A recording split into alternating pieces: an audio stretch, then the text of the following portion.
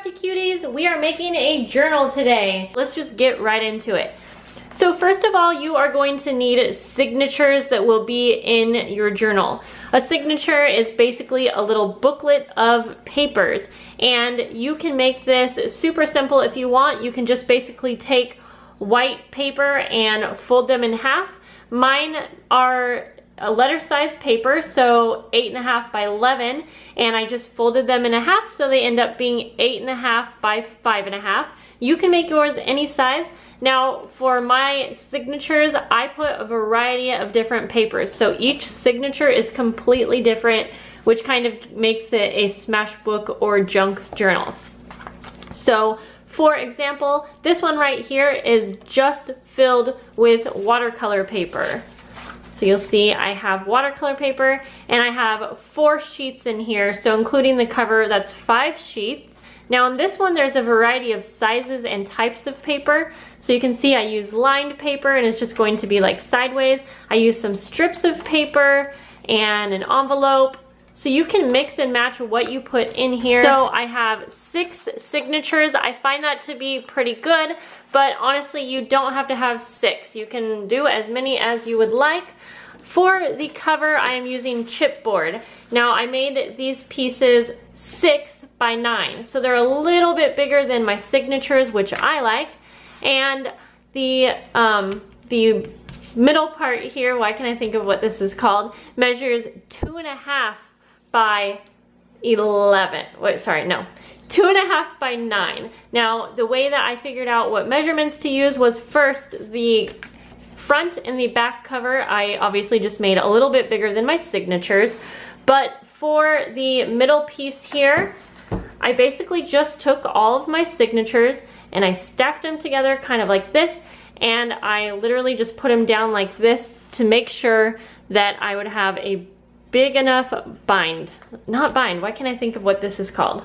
Spine, that's what it's called. So first we are going to start with the cover. So as you guys saw, I basically have my signatures ready to go.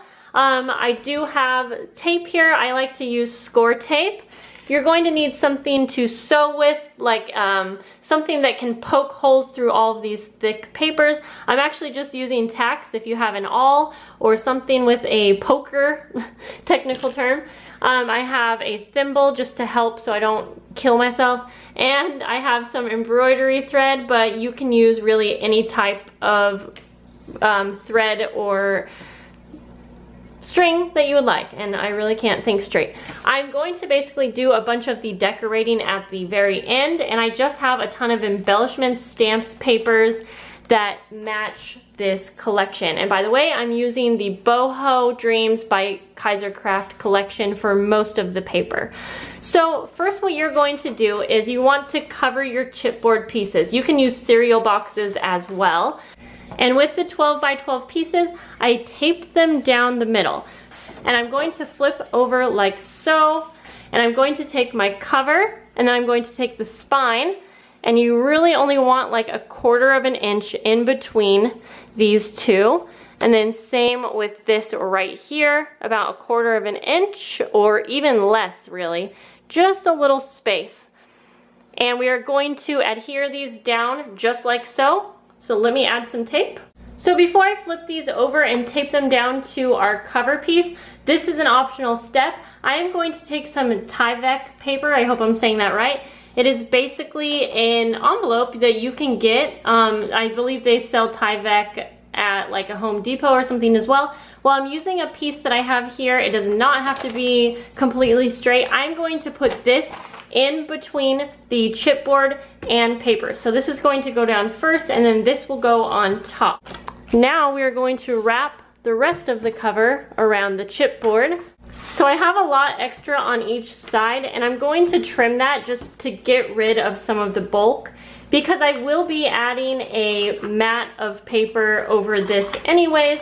So really you just want enough to cover the edges and I probably could have done this, planned this better and kept a lot extra, but that's okay. I'm just going, and then we will trim the corners again to get rid of some of the bulk. And I actually learned that little trick from my friend Mel on Mel B's Paper Creations. Um, I'm just gonna eyeball it like I do and basically cut a corner off like so, but you wanna keep enough, if you can see that, to wrap around and so for this part, I'm actually going to use wet glue. I'm using Tombow Mono liquid glue, the aqua, and I will go ahead and just put glue all around these extra sides and I will wrap them over the chipboard, just one at a time. Now that we have all of the sides glued down, you will want to carefully go ahead and bend your pages and you really need to take your time because the paper can crack and now you can see that we have the base of our journal complete. Now we need to mark where we are going to be sewing. So let's take our signatures so I'm starting with the very first signature and I learned how to do this technique from Sea Lemon on YouTube. So be sure to check her video below. I highly recommend it before you do this journal um, because she does a really great tutorial but I will go ahead and kind of quickly give you an overview of how I will be doing this.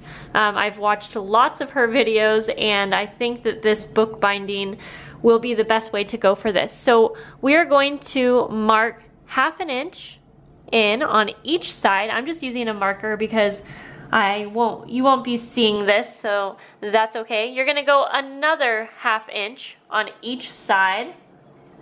Then you're going to go two inches in on each side. Now you can see where all of the dots are. That's where we are going to be sewing. So to make this easy, go ahead and take the rest of your signatures. You do want to make sure to have them in the order that you wish to have them in your books. So I have my signatures in the order that I want. I'm going to take my ruler once again, and as you can still see, I have the dots here. As my guideline, I'm going to take the ruler and I will hold it up against the first mark here so that I can have a straight line. I'm basically going to mark straight down using this as a guide and this will mark that same spot on all of the signatures. Now I'm at kind of a weird angle so let me try to show you this and then I will continue. And definitely use a pencil if you are not confident that you're going to get it just right. So I'm going to move it over to the next now. And really you can just go from the bottom all the way up. So now you can see that all of our signatures have a mark and they all line up. And I am just going to take my, my actual top signature and I am basically going to mark on the cover where I want the signature to fall on the cover. So if you want a little bit extra on each side, like I'm gonna have, I want like a quarter of an inch extra down here and on top, just line it up so that it falls that way and take your marker and then we're going to mark little holes or dots I mean where our signature not signature, sorry, where the dots are here. So I'm going to pause here before we get too far. I personally want to cover the inside with some scrapbook paper. So before marking the spots, I will go ahead and cover this side and then we will get back to marking our spot. So for this part, I did not measure. I'm really just estimating. So I went ahead and I marked all of the spots down the signature, all the way down the edge, and I left about a quarter of an inch. But again, I really didn't measure, I just kind of eyeballed this, and that's why I definitely suggest checking out Sea Lemon's tutorial or another tutorial on uh, YouTube if you want to get a precise measurement, but this does not have to be perfect. So now that I marked all of the um, spots down the spine, we need to go across. And for this, I basically just took my ruler and I lined it up as straight as possible. And I made sure that I had six dots, one for each signature. So I have six signature, we need six dots. And I'm going to go ahead and move down to this next one. Now I do want to make sure to follow this guideline now. I do want that to be straight and you could totally use a uh, ruler here as well to get this nice and straight, but just for the sake of the video, I'm going to eyeball this as well. Now that we have everything marked, we need to go ahead and poke a hole in anything that is marked. So I like to start with the signatures, and I'm basically going to start with the very top signature and make my way down. I'm going to unfold the entire signature. I recommend placing it down on something like foam or something that will be easy for your um, tool to go through. And I'm using a tack, which is totally fine, but you can use an awl, which is a bookbinding tool, or something like so. so I'm just gonna go down and make sure that this goes through each hole that we have marked. And I will continue this through all of the signatures. And this is the one with the watercolor paper that's really thick and this tack goes through really well. I have all of the holes punched through the signatures. Now we will move on to our cover and just like we did with the signatures, I will go ahead, take my tack, and poke a hole on all of these dots. It is definitely a lot. So I am punching the last hole and now it is time to go ahead and attach our signatures to the cover and some people like to decorate their pages and signatures first. Personally, I like to get everything together, the base all sewn together and whatnot, and then decorate. So that's how I will be doing it. So we are going to start with the last signature in our stack. So I'm going to basically take these and turn them over so that they're ready to grab one after another. We are going to go ahead and thread your needle. And again, I'm using embroidery thread. Um, mine is not waxed, but I know a lot of people do recommend it to be waxed. Um, I'm just using an orange color here that I liked, and I basically threaded it through, leaving a little extra here.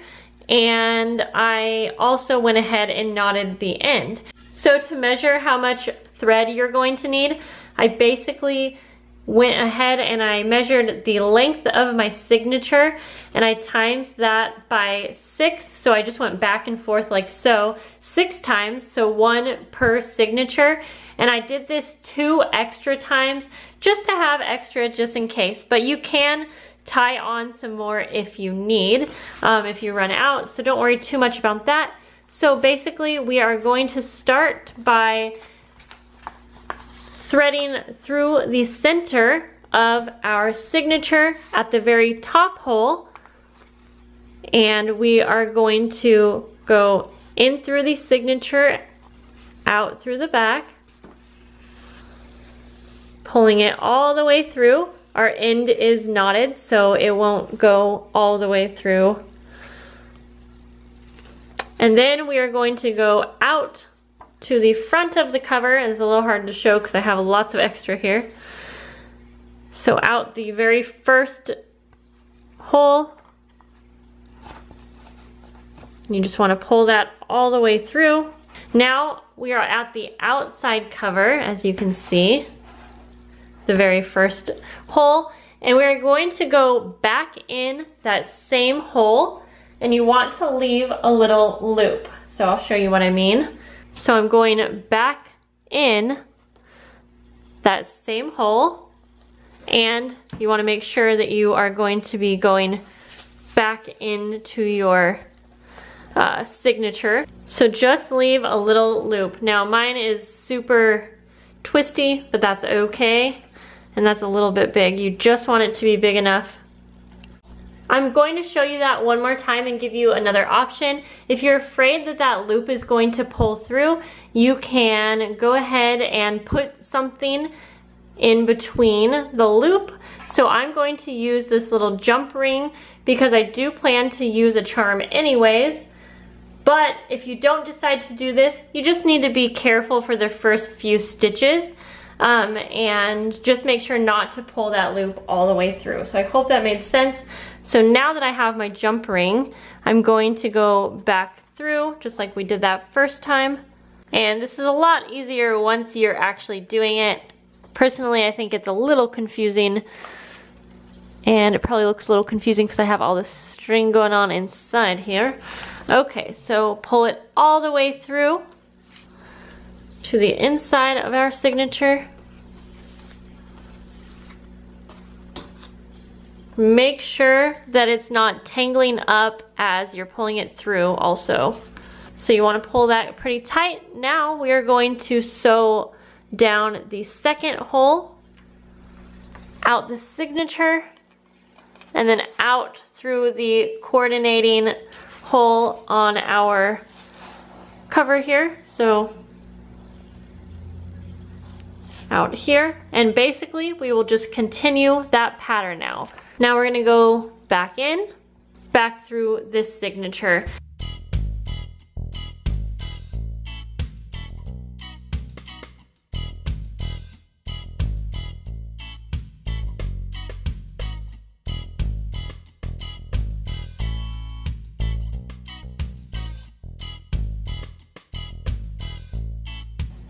Now we will go ahead to the next hole you wanna go outside, and then you wanna go to the next hole of the cover and go to the outside of the cover. Now we're going to repeat the same exact steps all the way up, just like we did with the first signature.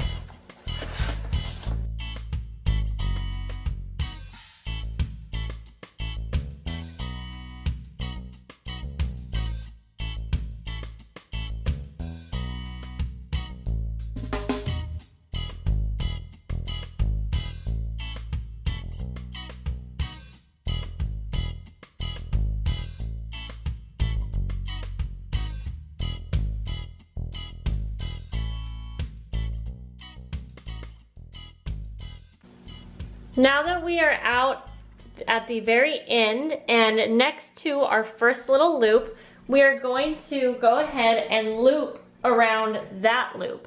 And if you see, down at the bottom, we also created like a little loop here. So every time we reach one of the ends, we are going to loop around the prior stitch. So of course, this first one didn't end up being a stitch because that was our starting point, but from here on out, we will continue with the loop that is next to the last stitch.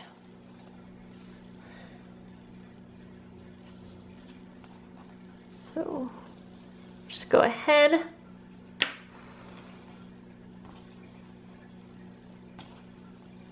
Pull all the way through. And now we are ready to move on to the third signature. And from here on out, we will basically repeat the same exact steps. So I'm gonna grab the next signature. Before I go in here, I'm going to go ahead, place that down so that we have it ready. And now we just continue. We go through the top, into the inside of the cover, through our signature, and repeat. Always remember to loop around that previous stitch before adding on the next signature. So you'll loop around and then you will go through the very next row. Now, I like to look eye level so that when I am going through the back of the cover, I can also kind of see and place where that hole is. Now we are at the very last stitch. And all we need to do to tie this off is wrap around the previous stitch, just like we have been doing.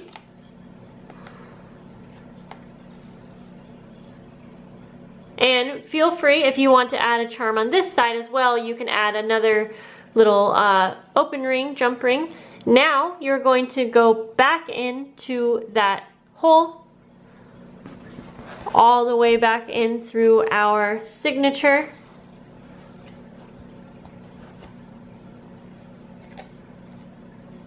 Now you can just go ahead and tie it off.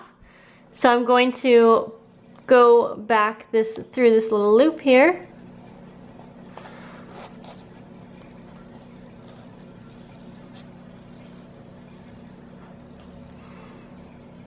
Go ahead and trim the end.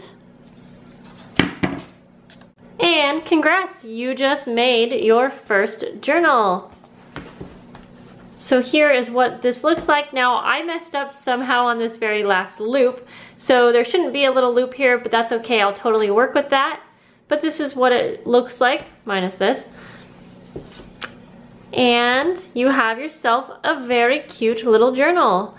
I really hope that this was helpful to you guys and as you can see there is quite a bit of room in between each signature making it great if you have a bunch of embellishments or dimensional things that you want to put in your journal.